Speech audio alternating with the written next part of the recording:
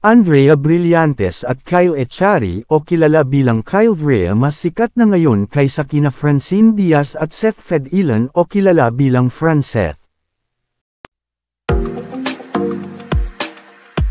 Sa tuluyan ng pagpapalit ng mga love team na dating Gold Squad members ay hindi naman mapigilan ng mga netizens na pagkumparahin ang Kyle Drea at Franceth.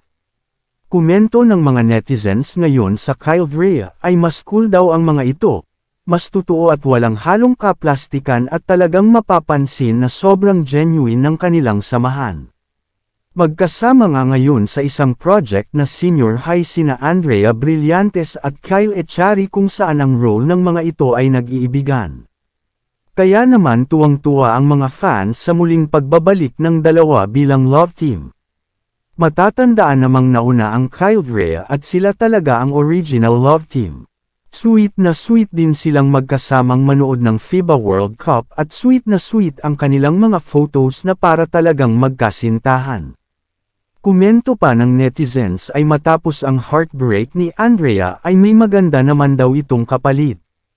Samantala ay usap-usapan din ngayon ang Franceth na parang tila pagpapanggap lang ang alam sa kanilang love team para pamatok.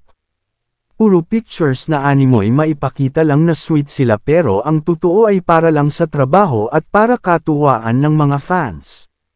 Kaya naman komento ng netizens ay trying hard and Franceth para din daw magaya ang Kathniel na kahit kailan daw ay malayong malayong mangyari. Samantala ay mayroon din silang bagong palabas kung saan ay ang fractured. Dito ay matutunghayan mang sino ang mas effective at mas mahusay na love team.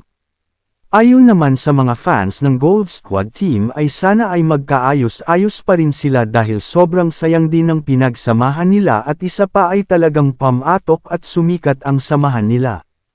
Gayunpaman ay kapwa pa rin sila tagumpay sa karerang tinatahak nila ngayon. May mga projects, endorsement at sa murang edad nga ay nagiging star na sila bilang mga artista. Anong masasabi nyo rito leave a comment below.